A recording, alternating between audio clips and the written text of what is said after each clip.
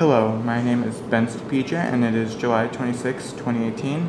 I am here with Jack Barber, Barton.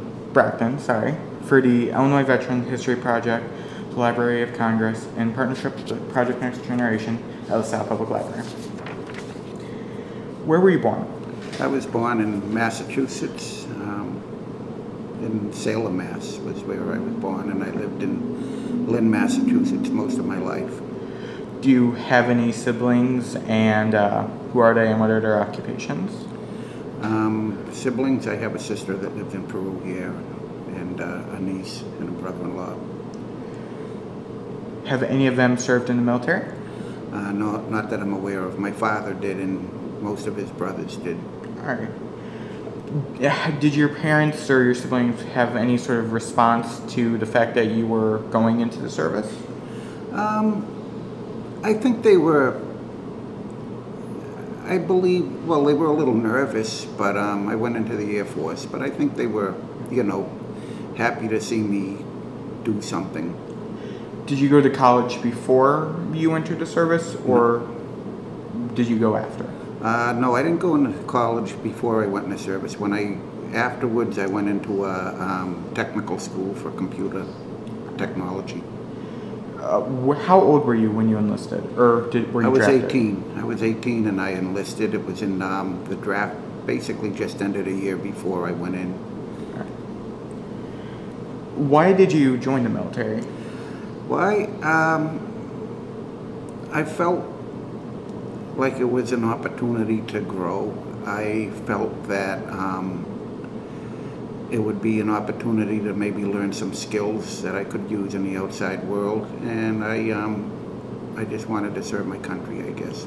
What made you choose going into the Air Force instead of any of the other branches of the military? Well, that's kind of funny because when I walked into the um, the enlistment office, the Air Force was the uh, first office there. I was undecided between the Air Force and the Navy at the time. I knew I didn't want the Army or the Marines, and um, the Air Force guy just dragged me in the office and promised me all kinds of training and this and that. So it seemed like a good thing.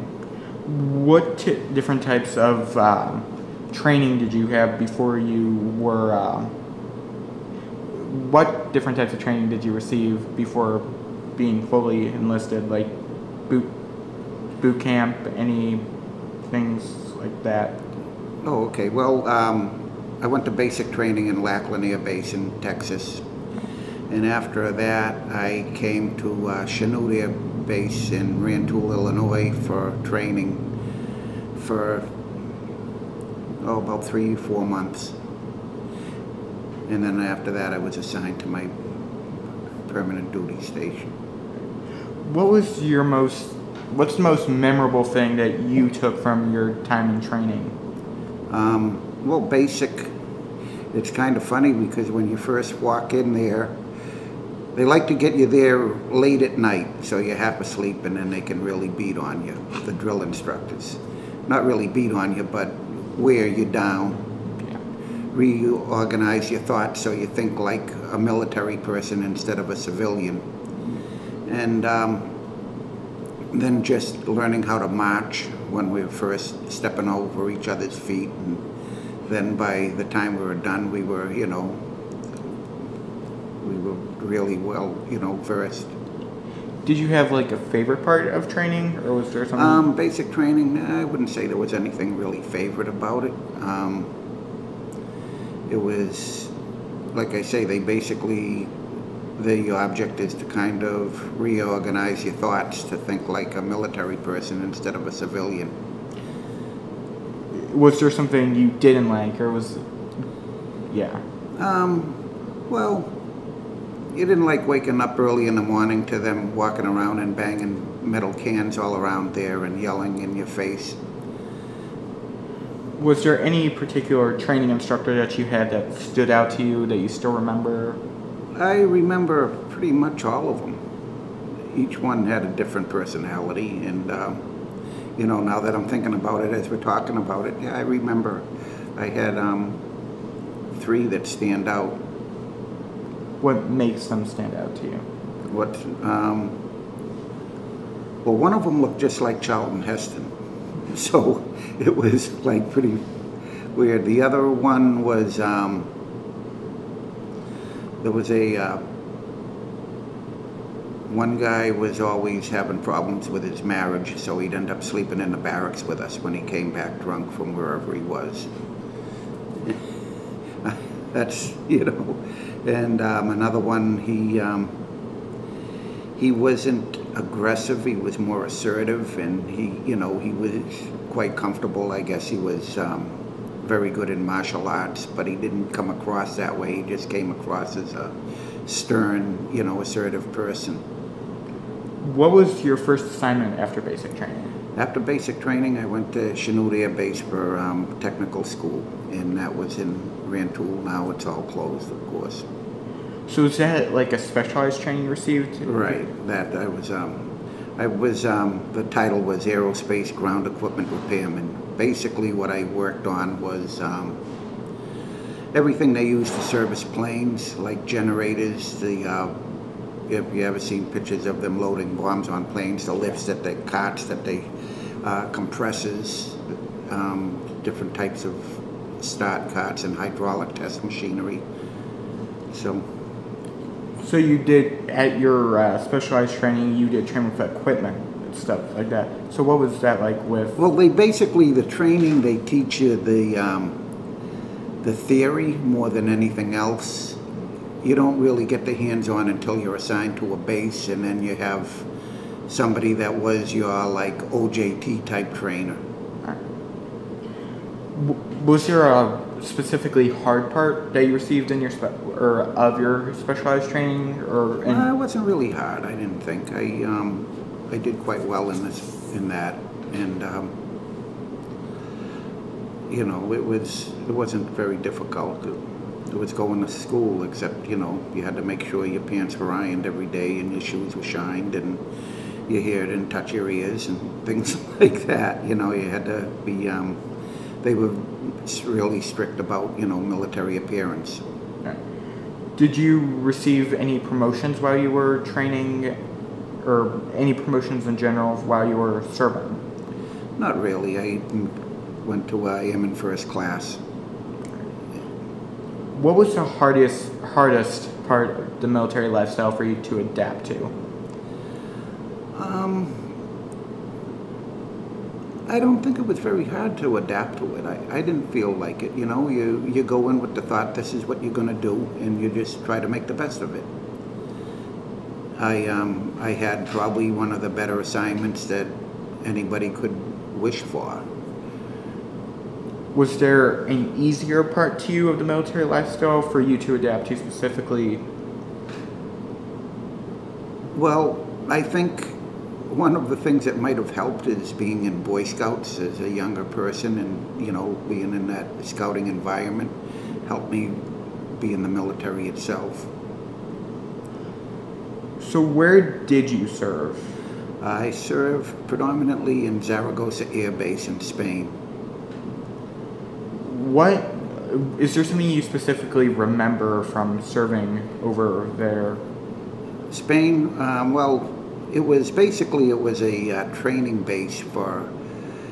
There was like a bombing range, and fighter squadrons from all over Europe would come down like a squadron at a time, and they, so the pilots could keep up their flight status and keep on, be ready. It was uh, during like 1975. I I got there in the late '74, and um, you know Vietnam was still going on, but their main concern in Europe was there was still the Cold War going on, and that was the main, you know, concern, knowing that we may have to fight with the Soviet bloc countries at one time or another. So did you ever actually see combat? No. Right. Did you uh, form any like friendships or bonds while you were serving? Oh yeah, because you're all in the same boat together. You're all in the same thing. Um, as far as keeping in touch with them, um, I did for a while with with um, a couple of guys, but we kind of gone our separate ways. Facebook kind of helps because there's a couple of Facebook pages on the base I was stationed at, so, you know, we communicate through that. Is there anyone, any of your friends that you remember specifically? Um, any memories of that that you remember specifically? Um, maybe not. Yeah, maybe not on the base, but off the base, you know, when you would go into the town and have a good time, or try to. How did you stay in touch with your uh, friends and family back over in the States? I wasn't really a very good communicator from, and back then, you know, it would, it cost twenty dollars to talk for five minutes on the phone, and, um, and there wasn't any, you know, media really outside of a dialing phone at that time, so I, and I wasn't a very good writer. My, um, my parents would send me a check for a dollar every once in a while to make sure I was still alive when I got the return check. Was it hard not being able, able to talk to your parents and family? and- Uh, not really for me because I just, like I said, I just learned the culture and this was my home and my base and, you know, my family came and visited me, as a matter of fact, when, I- where they were in Spain and I was able to take leave and we toured part of Spain. My mother and father and sister did. Uh, so what were some of the different things you did while you were off duty uh, from, yeah. Um, what did I, off duty, we'd, um, well, we'd go to the coast on, you know, the Mediterranean and there was uh, the beaches there. We used to, you know, we'd go to the beaches and there was a, and, um, we'd hit a lot of the tapas bars and different clubs in the town. Disco was really big back then, so there were a lot of discotheques that kind of catered to the Americans. And it was a big college town. I was in Zaragoza, which is kind of the third largest city, and we did, you know, a lot of the tourist things. We'd um, take off for a day and find a dilapidated castle, and we'd walk up there and bring a lunch with us and check it out, walk around it and everything like that. Uh, um, and just tried to get entrenched with the Spanish culture. Is there anything like that stood out to you about being over in Spain that was different from being over here in the States? Well, when I first got, it was a police state. You know, it was um, when I got there. Franco was the dictator, and you know, um, police had unbelievable authority. Um, you know, there was always two police walking, and they had their like little grease guns with them, and um, you know, they you, it was like I say, it was a police state at the time. Franco was a pretty ruthless dictator, and um, I was there when he died. So Spain was going through a change from um, dictatorship to a um, republic, I'd say, or you know, a democracy. And a lot of the old guard liked it just the way it was because they were in the higher echelons. And I saw um, like, of course, the first people that are going to start demonstrating would be students. But I've seen, you know, the police just clear the streets, and you know, if you were in the street, you got beaten. You know, so it was kind of scary at that point of time, and you know, I um, I was right in the thick of things once, a couple of times really, and. Um, I guess where Catholicism is so big in Spain, the first thing I did is look for a Catholic church to hide in so I wouldn't get beat. but So there was that fear of being attacked by the police, even being a serviceman, and um, well, they didn't. When their their job was to clear the streets at that time, they didn't care who or where you who you were, and a lot of us. The base was small, so they paid for us to live off the base, so we had apartments off the base. So you specifically never had to feel that you never felt specifically threatened by the police, right? Or Um, no. I was concerned, let's put it that way. were there was there any events like specific events that were like funny or weird that you can recall? Um,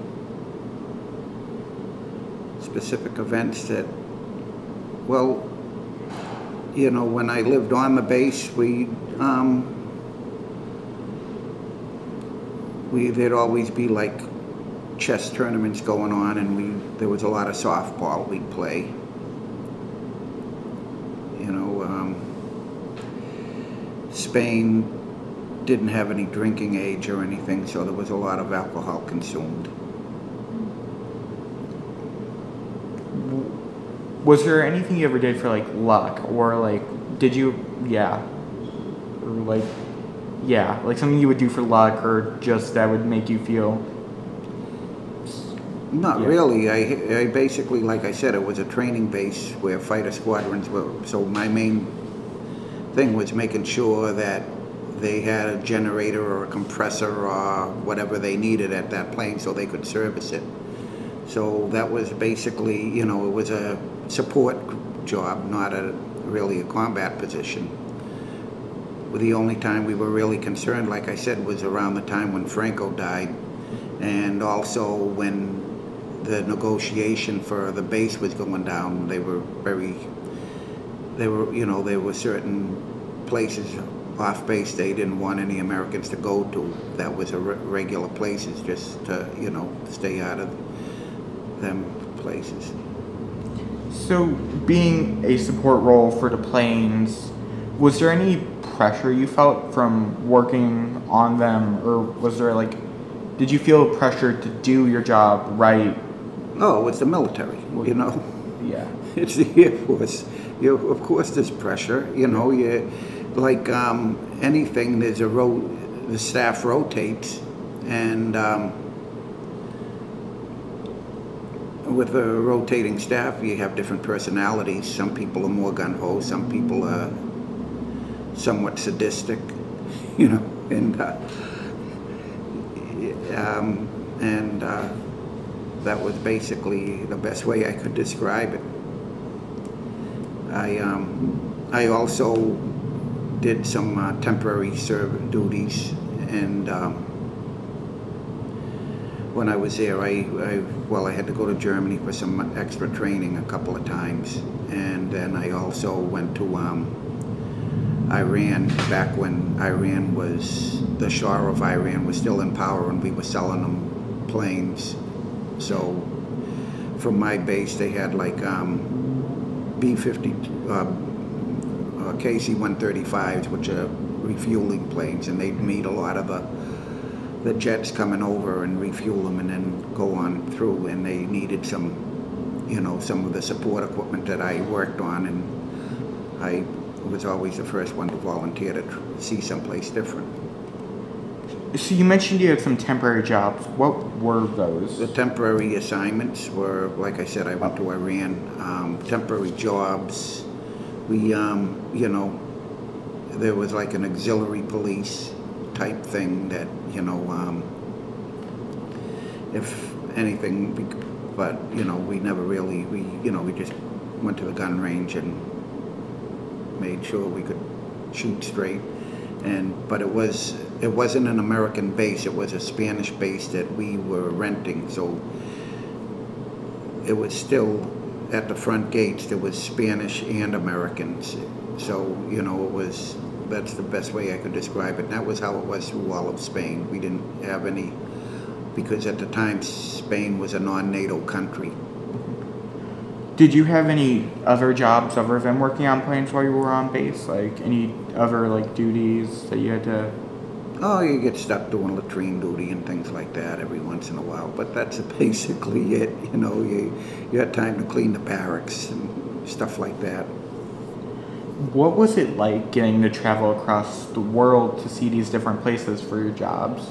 Um, well, at first you're really intimidated. I'm an 18-year-old kid that, you know, um, they put you on a commercial plane to Madrid. I didn't know, on the air base, I didn't know where to go because I had to get a hop from Madrid to the base that I was at, and I didn't know how to go about it or anything. And um, they, that was probably, you know, the more intimidating thing. And then going into the the base that, you know, my first roommate, um, I guess it was, he was um, a black man that all the black guys hung out in his room, you know, because there was some segregation, really. And here I am with my duffel bag, knock with the key opening the door, and they're all looking at me like, "Who the heck are you?" you know. So um, I, he asked me later on, he says, hey, this other guy wanted to move in with me and you mind swapping out? And I said, no problem. But, you know, it's just that initial change when, you know, you're brand new and your first assignment, you didn't know what to expect. So you said you saw Germany and Iran. Is there anything you remember from those places specifically, or? Um. Well, being in Spain, it was very um, how would you say, it, there wasn't a lot of fauna or green. It was in, in Germany. I remember just seeing the green grasses and just so the greenery, like going from a desert to, you know, to that. Um,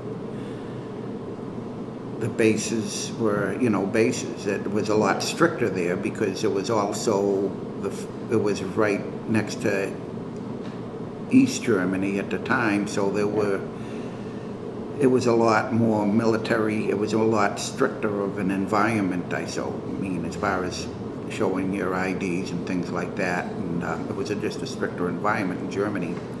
Iran, we um, we stayed in a nice hotel, and um, it was, you know, it was just walking around Tehran was kind of neat. Do you recall the day your service ended? Uh, yes. You, uh, where were you when? I, was, I got discharged in Spain. I got a European out.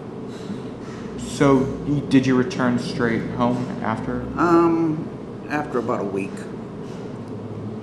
Uh, how did your how did the fa- your family and your community like receive you when you got back from the military your military experience?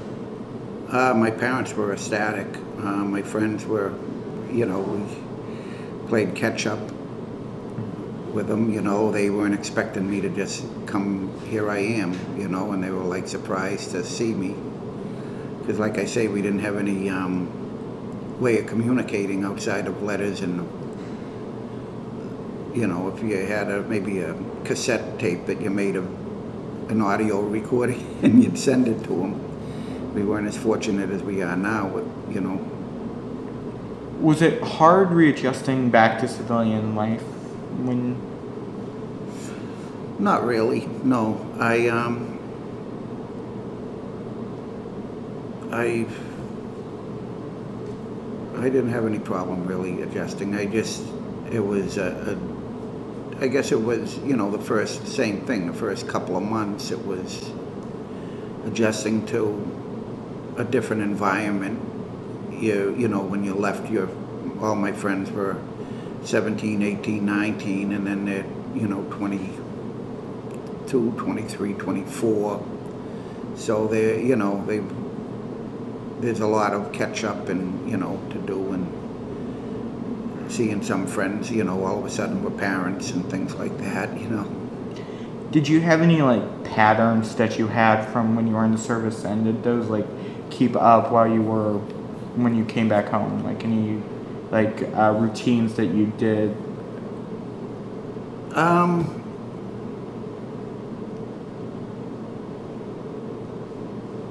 I think still to this day, I like if I go to a restaurant or something like that, or any type of, I like to be like in the back road of my back to the wall so nobody can come up from behind me. Did you start working when you got back, or did you go to school first? No, I, I started working at first. I um, a friend of mine that was that had a driver ed company asked me if I wanted to teach um, driver ed because he was leaving, and I said, "Yeah, why not? I haven't driven in four years in this country, but you know I'll figure it out." And then um, after that, I got a job with the um, it was uh, Norelco Lighting where I made basically it was a um, assembly line making light bulbs. And I did that for a, a while and I decided I, I want to go back to school and that's when I went to school for electronics. And and I was able to at the time they were begging for help. I had three job offers before I even graduated from school So, you said something about uh, getting used to how things were back here in the States, like driving. Was there anything else you really had to get used to again from that differed from your time in the service? Um, I guess picking and choosing people that you wanted to be around. You know, some people went their own separate ways. Some people were, you know, were getting into trouble, and I didn't want, you know, I didn't need that in my life. Um, it just picking and choosing different friends. My relatives were all, you know, all very supportive all the time. You know, when I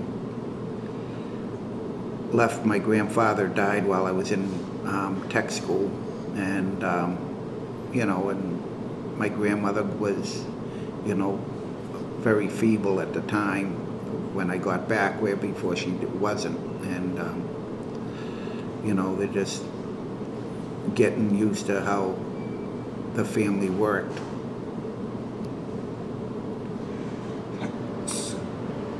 So you said you continued uh, friendships that you had from your service. Do you how long did they like generally last, or was it like this long-standing friendship you had? Uh, basically, one was probably about four years, five years, and then um, he lived in Connecticut, and where I was living in Massachusetts. You know, we um, would run into each other every once in a while, and um, we'd meet up and go to a concert or something like that. And, and then um, he had twins, so he kind of got, you know, tied up with that. So. Did the service affect the way you kind of approached friendships and relationships with other people? Um, I've been out of the service for so long, so you know, you are who you are, and you just. I guess it has a little bit. I guess it has a little bit, but like I say, I was more in like a support role. So I, I was never in a position where I had to, you know, fi kill anybody or be in a position that, you know, I'd have to fire a gun at somebody purposely to protect myself and my friends. Have you joined any veterans organizations? Yeah, I'm, I'm a member of the American Legion in um, Oglesby. Are there any sorts of reunions that any members of, or any f- that you go to for your service? Uh, no, I haven't gone to any, and my base really hasn't had any reunions. The only reunions they have is there was also like a um, a boarding high school there, because, um, and I know the schools has reunions every once in a while, and it's open to some of the other people that were stationed there, but that's basically it. So basically, it was a high school where kids' parents were stationed in different bases that didn't have a high school. So they'd send them to our base, and it was like uh, they lived in a barracks, and you know. How did your military experience affect your life in general or in the wide scale of things? Um, how did it? I. I guess I. I'm proud that I went in. I. Um, I. I guess when people ask me different questions, I can explain to them that, you know, a support role is just as good as a combat role when people ask me about um, the subjects. Um, I guess um, right now I use the VA for my medical insurance, which I don't, it would, you know, which is very good. I haven't used any, a lot of the veterans benefits. I think um, this area is really good on Veterans Day on how they look out for all veterans and all the um, different uh, freebies that are offered to them and Are there any life lessons or lessons in general that you learned from your service? life lessons. Um, hmm. I would say choose your friends wisely.